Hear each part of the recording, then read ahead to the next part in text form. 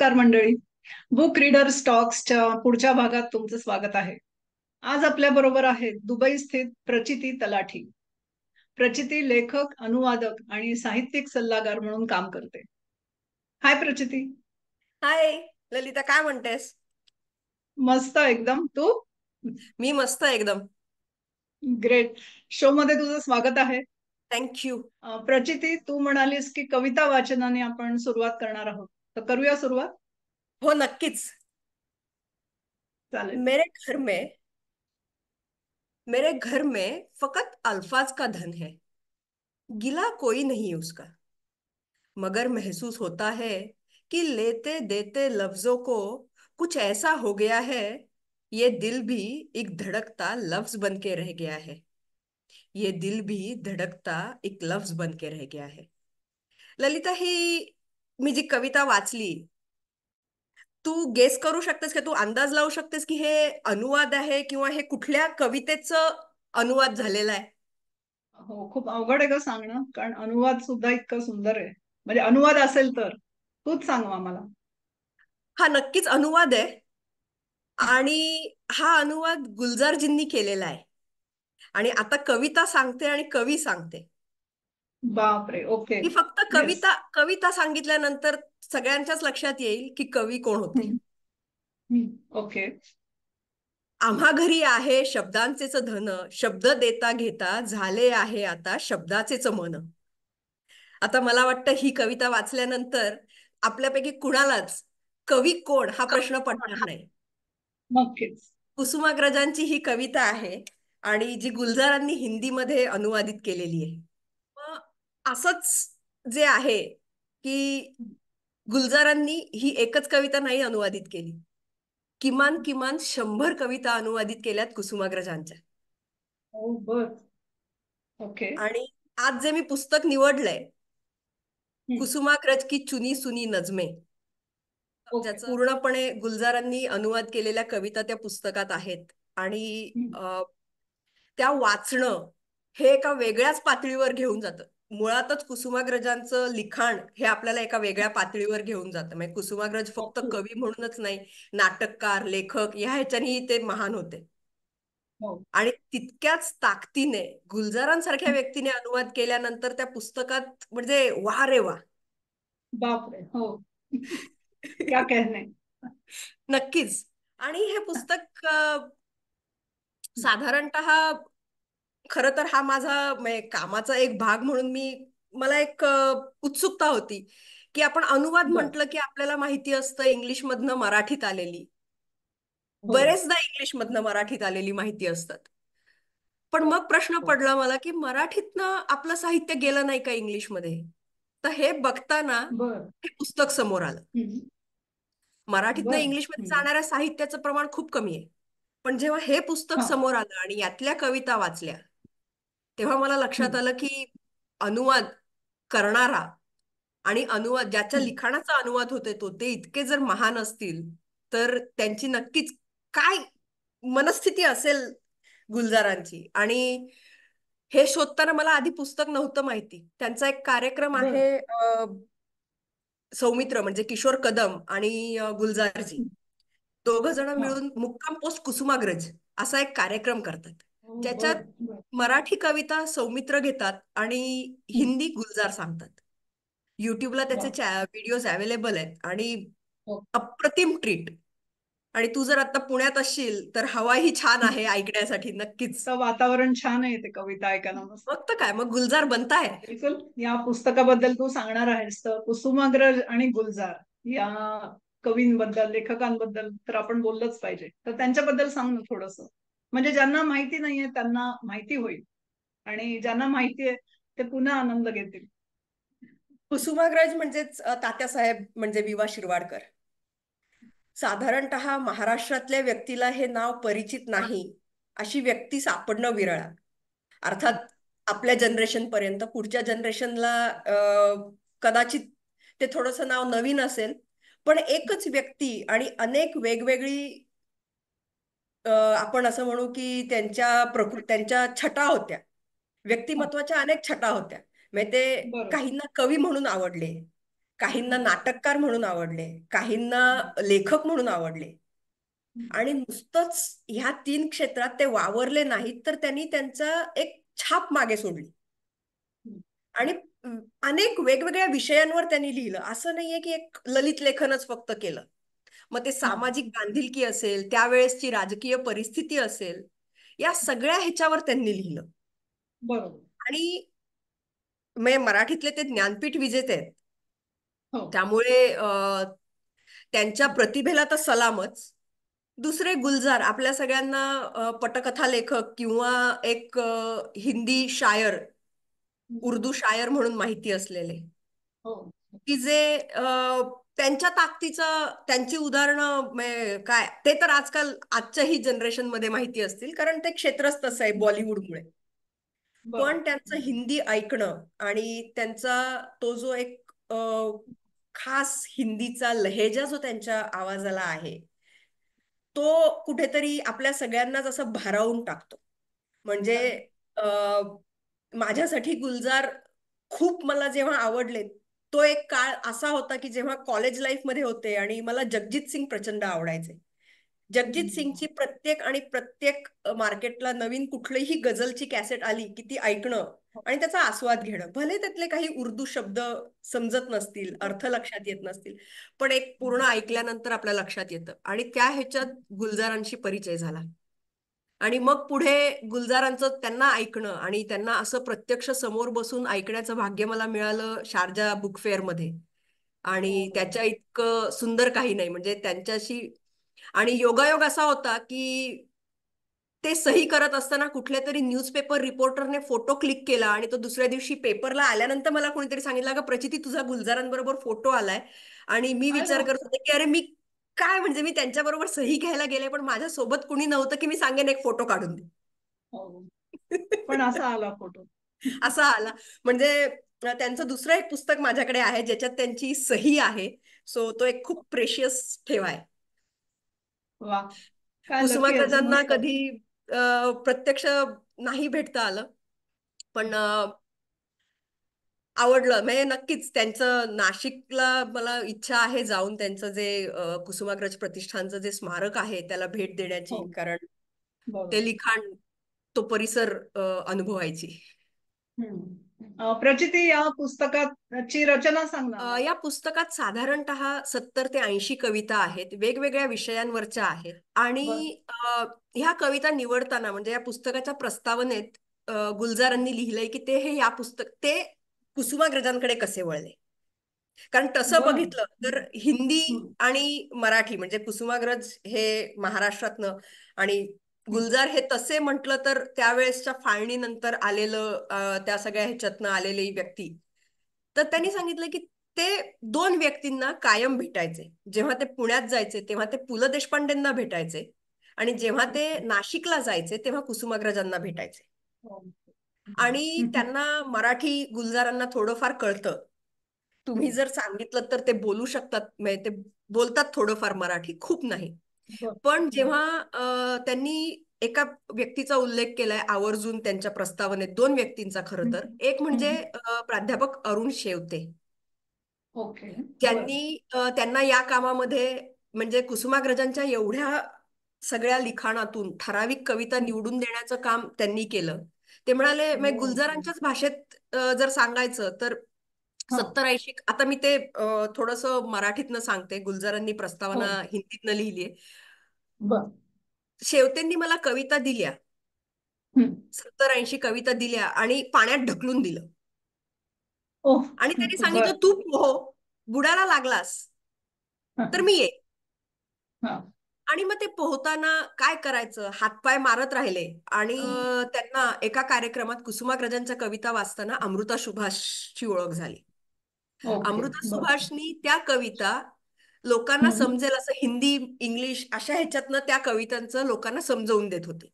आणि म्हणून मग त्यांनी काही शब्दांचे अर्थ काही कवितेचा मतितार्थ हे समजून घेण्यासाठी डॉक्टर प्राध्यापक शेवते आणि अमृता सुभाष ह्या दोघांच्या बरोबरीत ते लिहिलं. आणि आता ते लिहिल्यानंतर अर्थात त्याला जेव्हा ते कार्यक्रम सादर करतात त्याला एक तो पर्सनल टच येतो कारण ते कुसुमाग्रजांना प्रत्यक्ष भेटले होते. त्यांच्यासोबत त्यांनी वेळ घालवला होता. बरोबर. आणि सगळ्यात महत्वाचं असं होतं की कुसुमाग्रज का? ह्याचं उत्तर जेव्हा गुलजारांना विचारलं गेलं तेव्हा गुलजारांनी सांगितलं की कुसुमाग्रजांचं जे लिखाण आहे ते ही.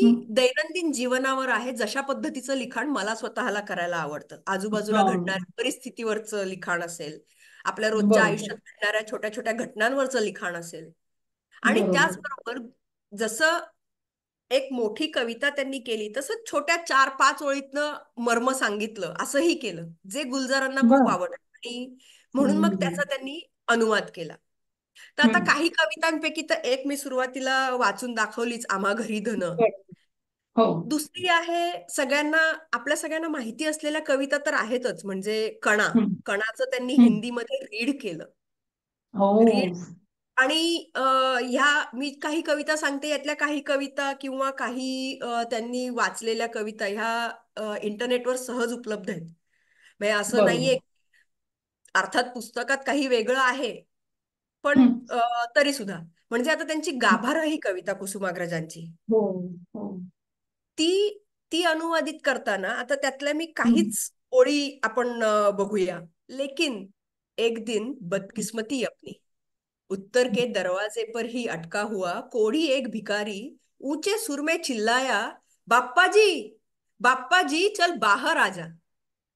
पो फटते जब भोर आरती का वक्त हुआ गर्भगृह वो खाली था। पुलिस में इतला दर्ज कर दी है हमने। वापस शायद आ भी जाए। लेकिन कोड़ियों की बस्ती में एक बार रहा तो वापस रखे या की नहीं ये सोचना होगा। आता हे जेव्हा आपण वाचतो तेव्हा ही एक स्वतंत्र कविता म्हणूनच आपण त्याच्याकडे बघतो। आता मी तर त्याचं मराठी वाचायला गेले तर मला लक्षात येईल की अरे ते इतक्या ताकदीने त्यांनी ते मराठीचं तसंच्या तसं घेतलंय. तर त्यामुळे ह्या पुस्तकातली ही गाभारा असेल किंवा रद्दी ही एक कविता आहे. की त्याचा त्या रद्दी कवितेचा एक छोटासा म्हणजे अर्थ थोडक्यात असा आहे की कवी आहे त्याची बायको त्याला म्हणते की आता महिन्याचा शेवट आलाय. तू काही कविता आज मी रद्दी काढतीये तर तुझ्या पण काही कविता देऊ का त्याच्यात? वजन वाढेल. अशा अर्थाने ती कविता आहे. तर तो कवी म्हणतो की जे काम काळ करणार आहे ते तू कशाला करतेस? ओके.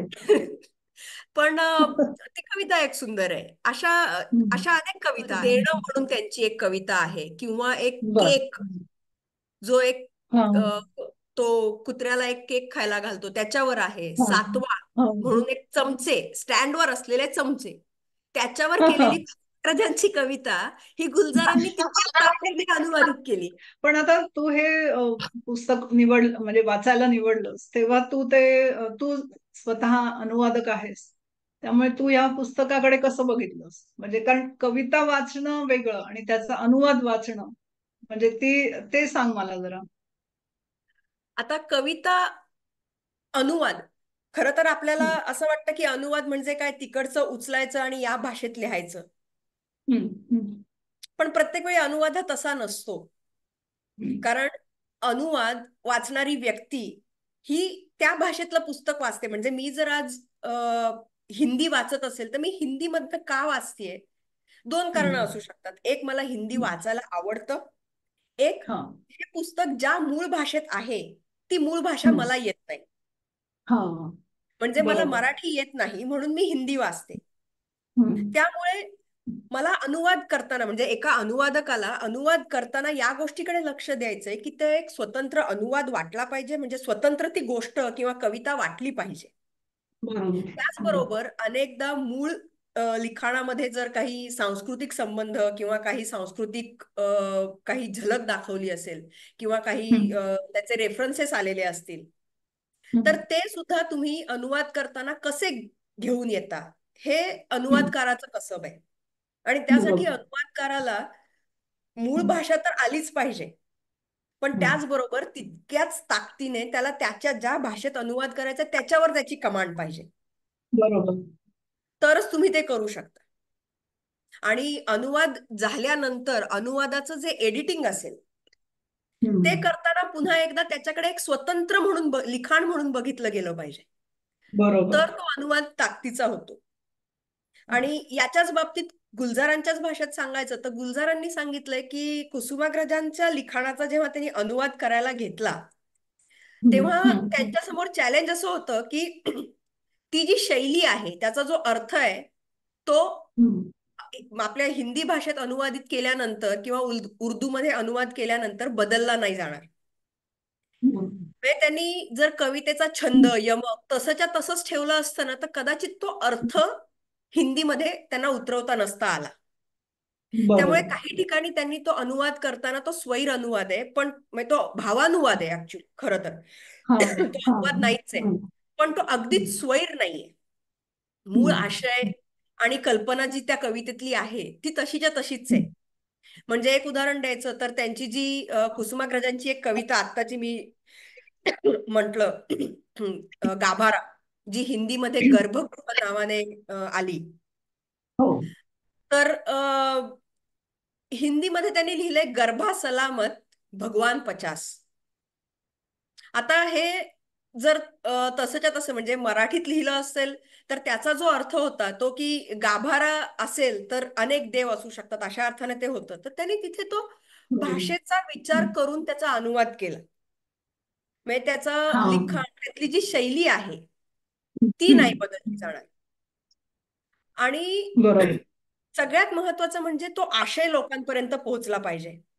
जर त्या कवितेत एखादी छटा मांडली गेली असेल तर ती लोकांपर्यंत पोहोचली पाहिजे. बरोबर.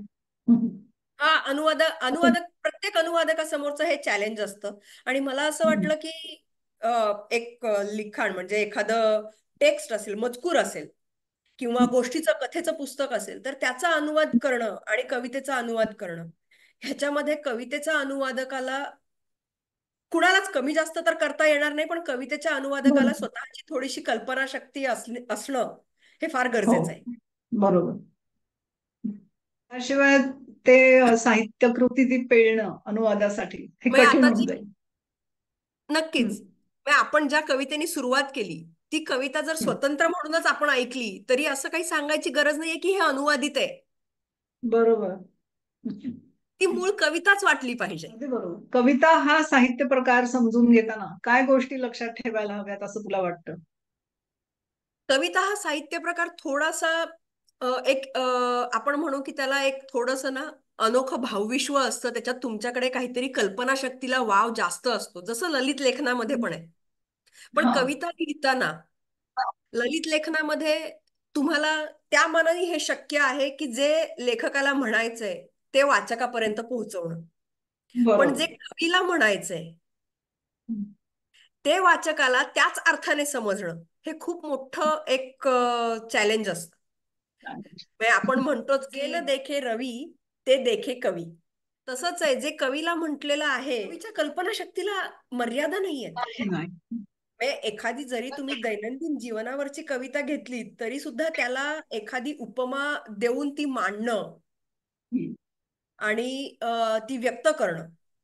ह्यामध्ये कवीच्या कल्पनाशक्तीला जशा मर्यादा नाहीयेत पण अनुवादकाला त्या मर्यादा येतात कारण मूळ कवीने त्याची कल्पनाशक्ती इतक्या अफाट पद्धतीने वापरलेली असते. त्याच्या लिखाणाची ताकद अशी वापरलेली असते की ते अनुवादकाला एक मोठं आवाहन असतं समोर की बाबा मी हे कसं पूर्ण करणार आहे? किंवा हे कवितेचा तोडीस तोड अनुवाद झाला पाहिजे. आता कुसुमाग्रजांनी सामाजिक ह्याच्यावरच्या तर कविता लिहिल्याच. थोड्याशा काही त्यावेळेसच्या असलेल्या म्हणजे स्वातंत्र्य प्राप्तीनंतरच्या राजकीय अस्थैर्यानंतरच्याही कविता लिहिल्या. तर आता त्या जेव्हा अनुवाद केला गुलजारांनी तर त्या दोघांमध्ये कुठेतरी एक समान धागा होता की त्या दोघांनी तो काळ प्रत्यक्ष अनुभवलेला होता. बरोबर. पण जर आज कुणी तो अनुवाद करायला गेलं तर आपल्यापैकी कुणीही तो काळ अनुभवलेला नाहीये. त्यामुळे त्या त्याच्यासाठी असणारे योग्य शब्द शोधणं आणि ते मांडणं. ती परिस्थिती त्या जागी जाऊन आज अनुवादकाला त्याच्या कल्पनाशक्तीनेच समजून घ्यावी लागेल. त्यावेळेस इतर काही लिखाण वाचावं लागेल. त्याचबरोबर त्यावेळेसचे काही विशिष्ट शब्द भाषेत होते का? की जे आता प्रचलित तितकेसे नाहीयेत. हा विचार करावा लागेल. बरोबर. आणि हे ठरवावं लागेल की मी त्या काळाला साजेसे शब्द वापरून ती कविता लिहिणार आहे का? माझा वाचक हा आजच्या म्हणजे आत्ताच्या पिढीतला असल्यामुळे त्याला ते शब्द कळणार नाहीत. तर तितक्या ताकदीचा मी आजच्या पिढीतले काय शब्द वापरू? आणि प्रत्येक वेळी शब्दाला शब्द असतोच असं नाहीये. नाही. त्यामुळे तिथे पुन्हा एकदा खूप फरक पडतो. कारण ती सहवेदना अनुभवता पण आली पाहिजे कल्पनाशक्तीने. नक्कीच. प्रचिती तुला आता थोडं मागे घेऊन जाते. तुझी वाचनाची आवड कशी सुरू झाली ते सांग ना. वाचनाची आवड खरं म्हटलीस तर हा प्रश्नाचं उत्तर मला आठवत नाही असंच म्हणायला लागेल. कारण जेव्हापासून आठवत तेव्हापासून मी वाचतेच आहे. ओके. अगदी लहान असल्यापासून म्हणजे लहान असताना ती जाट ठशांची पुस्तकं यायची मोठ्या फॉन्ट साईज मधली. ती वाचायला सुरुवात झाली. मग पुढे पुढे त्याच्यातनं त्या वयानुसार परिकथा किंवा इतर काही वाचायला सुरुवात झाली. योग असा आहे की मला लहान असताना जी पुस्तकं वाचायला आवडली ती अनुवादित ओ बर.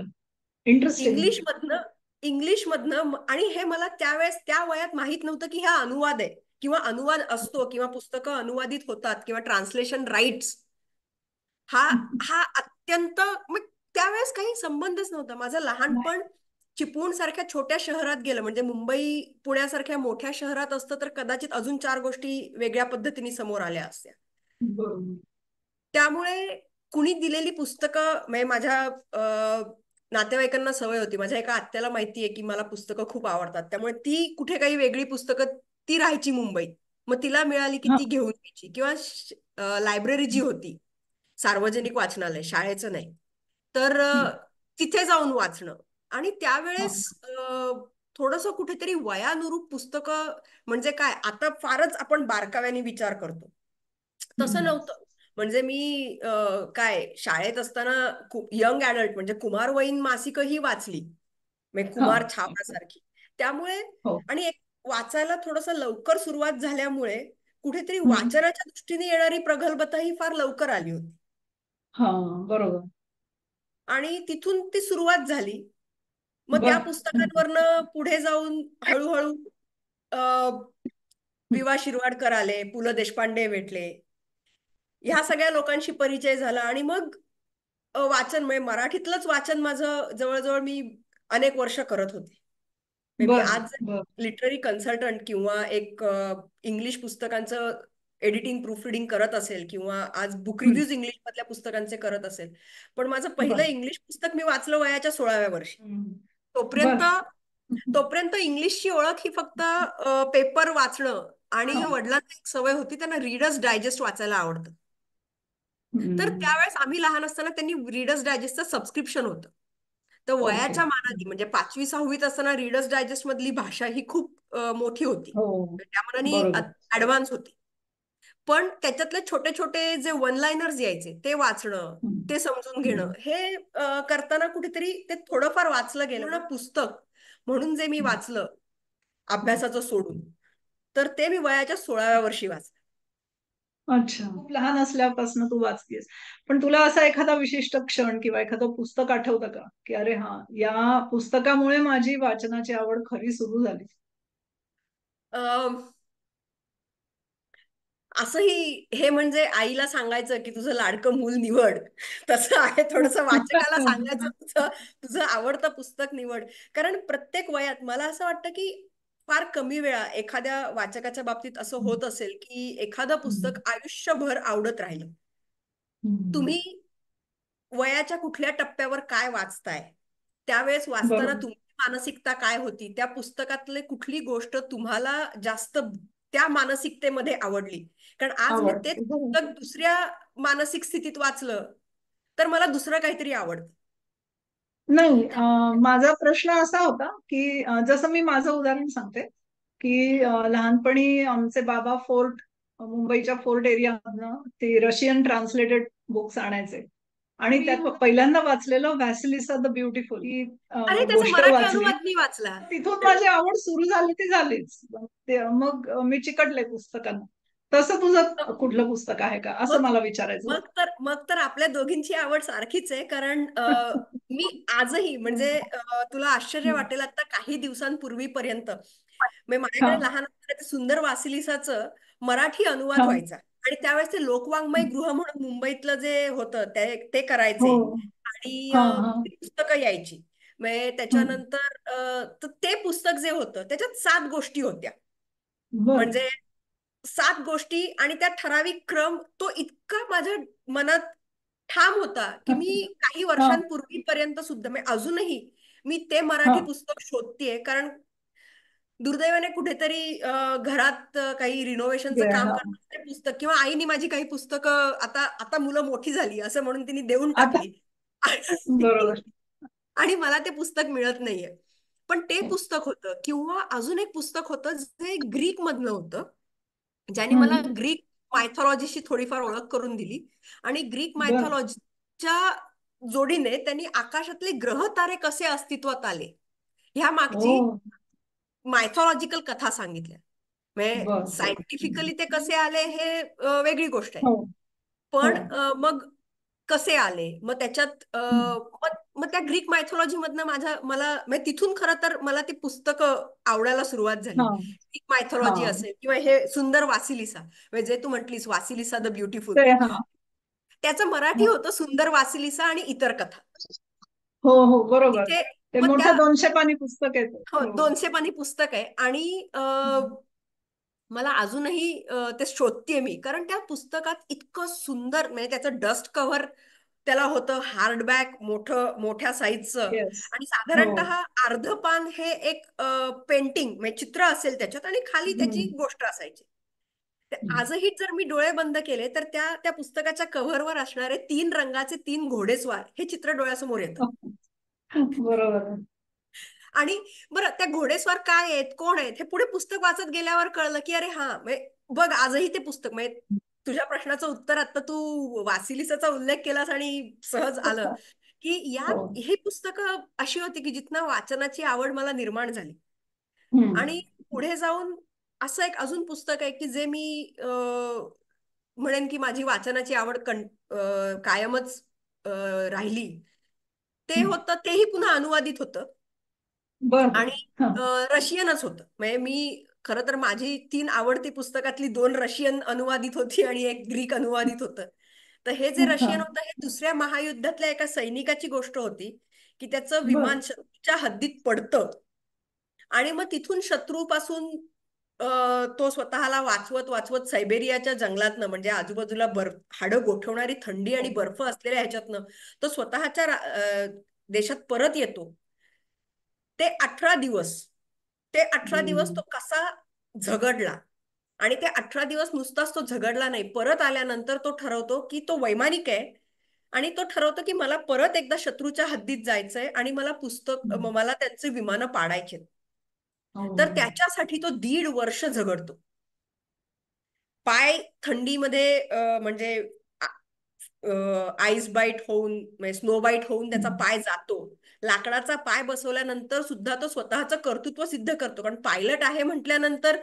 छोटासाही अ, दोष तुम्हाला चालत नाही. तो. स्वतःला सिद्ध करतो आणि ती पुढची दीड वर्षाचा त्याचा स्ट्रगल म्हणजे असा साधारणतः तो एक. दीड पावणे दोन वर्षाचा जो काळ आहे त्या पाचशे सहाशे पानी पुस्तकात इतक्या सुंदर पद्धतीने मांडला गेलाय की. आजही ते पुस्तक हातात घेऊन वाचावंसं वाटतं. वा. वा खूपच छान आहे. तुला पुस्तकाचं नाव आठवतंय बाय चान्स अ, हो. एका म्हणजे अनुवादित आहे एका अस्सल माणसाची हा. कहाणी आणि लेखक आहे बरीच पलेबोय बर ओके. छान मी पण वाचेन. नक्कीच म्हणजे त्याचं मला वाटतं त्याचं इंग्लिश आहे अवेलेबल पण ते मराठीतनं मी वाचल्यामुळे कुठेतरी मी मराठीशी जास्त कनेक्ट झाले त्या पुस्तकात. त्या भाषेत त्या काळात ते वाचलेलं असतं ना त्यामुळे ते जास्त आपल्यावर एक राहतं लाईफ लॉंग आपल्यासोबत. बरोबर. तू आता सांगितलंस की अनुवादित पुस्तकं तू वाचत आलीस पण अं, एकंदर कोणत्या प्रकारची पुस्तकं तुला आवडतात? म्हणजे डिटेक्टिव्ह असेल किंवा इतर काही ऐतिहासिक असं आता खरं गंमत सांगू मराठीतनं मला. फिक्शनल वाचायला आवडतात आणि इंग्लिश. मधनं नॉन फिक्शन आता हे असं का झालं ह्याचं उत्तर थोडंसं असं आहे की लहान असताना जेव्हा. वाचायला सुरुवात केली तर परीकथा. आणि अशी सगळी पुस्तकं वाचली गेली हो त्यामुळे अर्थात त्याही वेळेस कळत न कळत हे नॉन फिक्शन आहे हे कळण्याचं वय नसताना सुद्धा पु ल देशपांडेंची प्रवास वर्णनं वाचलीच गेली. जी खरं तर हो. आत्ता बघायला गेलो तर ढोबळ व्याख्येप्रमाणे ती नॉन फिक्शन आहे. तर त्यामुळे मला वाचायला तसं म्हणशील तर हो मला डिटेक्टिव्ह आवडतं. थोडंसं मिस्ट्री असेल तर आवडतं. एखादं म्हणजे कविता वाचणं तसं म्हणायला गेलीस तर. हे मी असं पूर्णपणे वाचलेलं पहिलं पुस्तक असेल आणि तेही त्या ताकदीने काय ताकदीने अनुवाद झालाय ह्याच्यासाठी ते पूर्ण हो. वाचलं गेलं असं एका बैठकीत. आणि आत्ता सध्या वाचायला मला थोडंसं नॉन फिक्शनलमध्ये थोडा इंटरेस्ट जास्त आहे.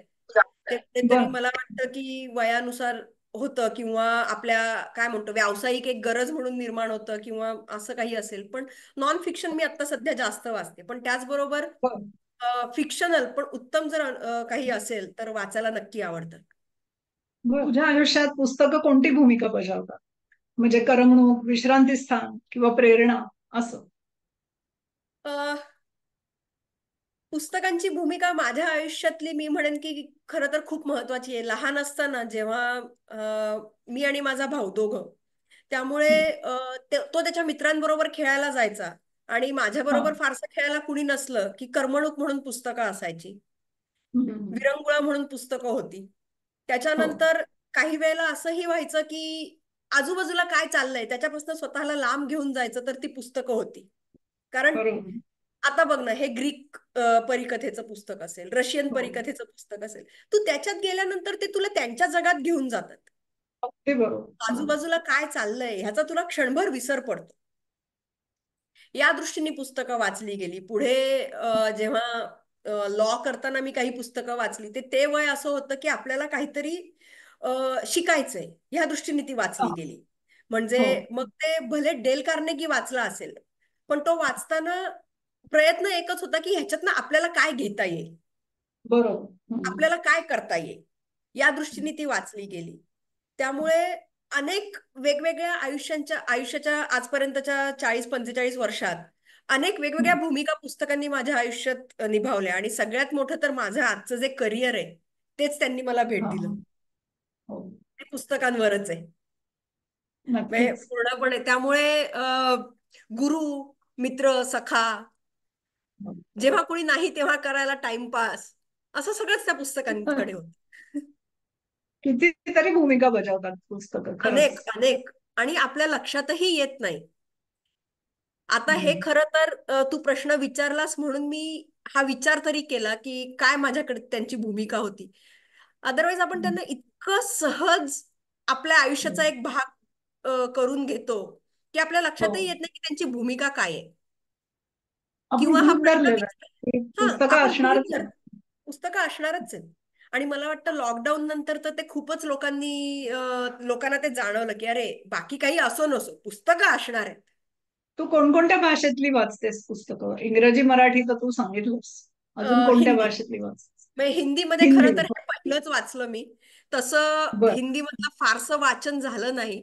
काही छोट्या मोठ्या गोष्टी हिंदीतल्या म्हणजे मुन्शी प्रेमचंद वगैरे यांच्या वाचल्या गेल्या जेव्हा शाळेत असताना हिंदीच्या परीक्षा दिल्या गेल्या तेव्हा.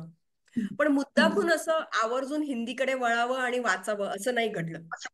पण मराठी आणि इंग्लिश या दोन्ही भाषातली पुस्तकं वाचली म्हणजे मी वाचते. म्हणजे मी स्वतः गुजराती बोलू शकते पण पुस्तकं नाही वाचण्या इतकं माझं वाचन चांगलं नाहीये गुजरातीचं तुझ्या बाबतीत असं होतं का? की काही काही पुस्तकं असतात की जी एक आपण पुन्हा पुन्हा वाचतो. म्हणजे जसं रणजित देसाईंचं श्रीमान योगी आहे स्वामी आहे किंवा पु ल देशपांडे वपू काळे रत्नाकर मतकरे रणजित देसाई असे आपण वाचत राहतो काय तसं तुझ्या बाबतीत होतं का? अ, खरं सांगू तर आता आता तसं फारसं होत नाही.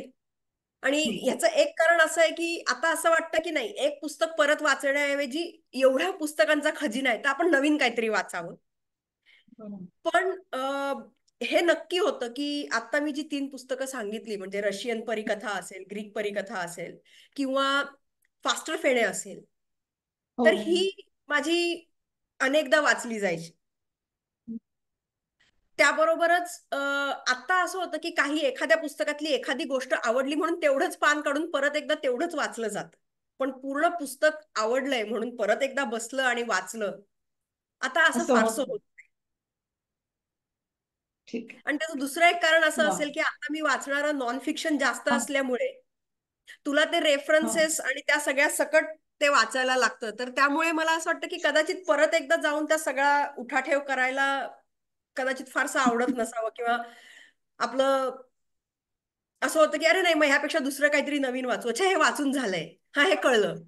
त्यामुळे आता ते आता परत एकदा चाळली जातात. एकदा वाचली जातात चाळली जातात. बरोबर आहे.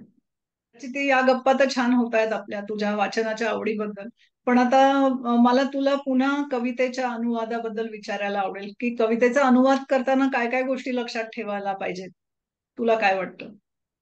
कवितेचा अनुवाद करताना मी मगाशी म्हटलं तसं अनेक गोष्टी आहेत आणि जसं कवीला स्वातंत्र्य असतं तसं. ते अनुवादकाला सुद्धा असतं फक्त त्याला एक छोटीशी मर्यादा असते कवीच्या लिखाणाची.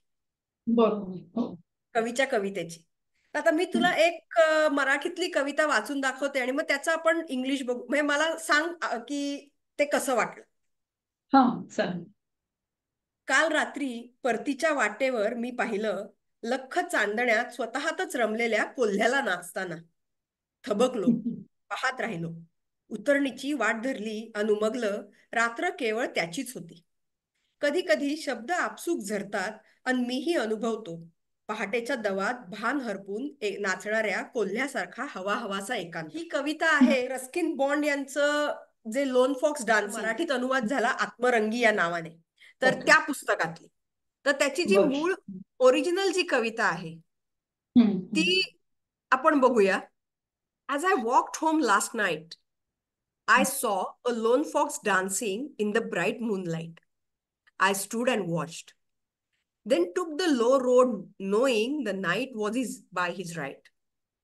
Sometimes, when words ring true, I am like a lone fox dancing in the morning dew.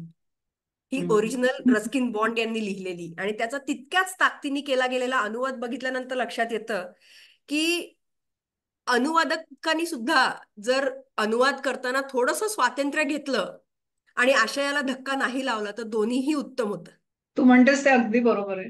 जितकी उत्तम मूळ साहित्यकृती आहे तेवढाच उत्तम अनुवाद आहे. नक्कीच नक्कीच. रचिती आपण शोची सुरुवात केली होती. तू कविता वाचून दाखवलीस. कुसुमाग्रज की चुनी सुनी नजमे या पुस्तकातली. तर शेवट सुद्धा मला वाटतं आपण त्याच पुस्तकातल्या एखाद्या कवितेने करूया.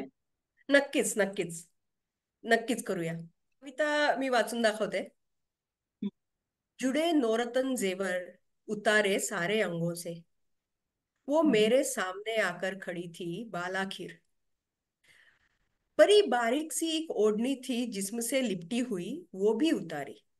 उसे भी दूर फेंका बड़ी हैरत से देखा मैंने कोरा पाक रूप उसका।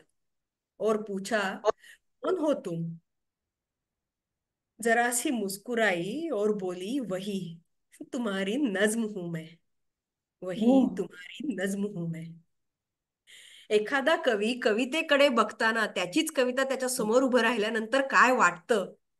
हा जो या कवितेतनं आलेला आशय आहे तो खूपच सुंदर मांडलाय. म्हणजे तिला आधी एका. एका स्त्रीच्या रूपात कवितेला बघणं त्यानंतर त्याचं एक कल्पनाशक्तीने त्याचं वर्णन करणं हे मला वाटतं या पुस्तकातला टेकअवे आहे. प्रचिती तुझ्या मागे जे आहे पुस्तकांचा रॅक आणि आय थिंक वर्ल्ड मॅप आहे वगैरे तो बॅकग्राऊंड खूप छान आहे. तर त्याबद्दल सांग ना. अ, त्या बॅकग्राऊंडचं म्हणजे खरं तर अनेक गोष्टी आहेत त्याच्यात. तू म्हटलीस तसं तो वर्ल्ड मॅप आहे. पुस्तकांचा जो रॅक आहे तो थोडासा मध्ये जिव्हाळ्याचा विषय आहे कारण त्या रॅकवर दिसणारी जेवढी काही पुस्तकं आहेत ती सगळी. लेखकांनी स्वतः त्यांची स्वाक्षरी असलेली आहेत. अरे बापरे ओके. रॅकवर आत्ता कमा कमीत कमी एक शंभर पुस्तकं असतील आणि ती सगळी लेखकांची स्वाक्षरी असलेली आहेत. मग त्याच्यात अनुपम खेर आहेत त्याच्यात शशी थरूर आहेत त्याच्यात हो. सुधा मूर्ती आहेत गुलजार आहेत जावेद अख्तर आहेत. त्याचबरोबर लुसी हॉकिन्स आहे. त्याचबरोबर अजून डेव्हिड वॉल्यम्स आहे. किंवा जुलिया जॅक्सन आहे. जुलिया जॅकलिन विल्सन आहे. अनेक अनेक मरा इन भारतीय अभारतीय अनेक प्रकारचे लेखक आहेत त्याच्यात.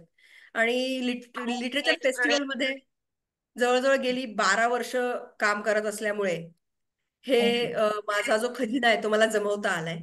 जो नकाशा आहे वर्ल्ड मॅप इच्छा अशी आहे की एक दिवशी त्याच्यातल्या प्रत्येक कंट्रीवर एक डॉट लावता आला पाहिजे. त्यामुळे ते एक इन्स्पिरेशन म्हणून लागलेलं आहे.